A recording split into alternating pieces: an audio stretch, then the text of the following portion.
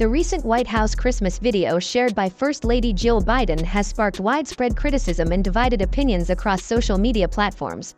The video, featuring dancers from Dorrance Dance performing their rendition of the Nutcracker Suite in the festively decorated White House, was intended to spread magic, wonder, and joy for the holiday season.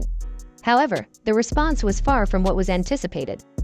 Numerous social media users took to platforms like X, formerly known as Twitter, to express their discontent some viewers found the video to be unconventional and unrelated to the traditional Christmas spirit, with one commenter referring to it as the United States of Bananas, indicating a departure from the expected festive theme.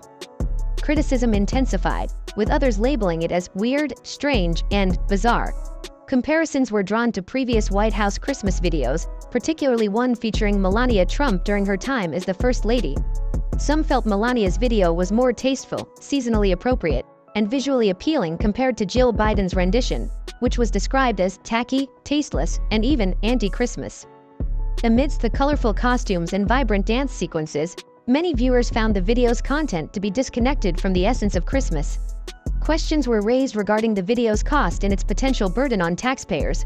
Some expressed disappointment, labeling it as absolute garbage, while others found it inappropriate for children.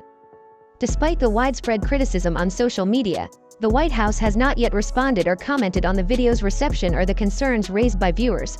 The controversy surrounding the White House Christmas video has ignited a debate about the perception of holiday traditions and the expectations tied to such celebratory events, reflecting the diverse opinions and reactions within the public sphere.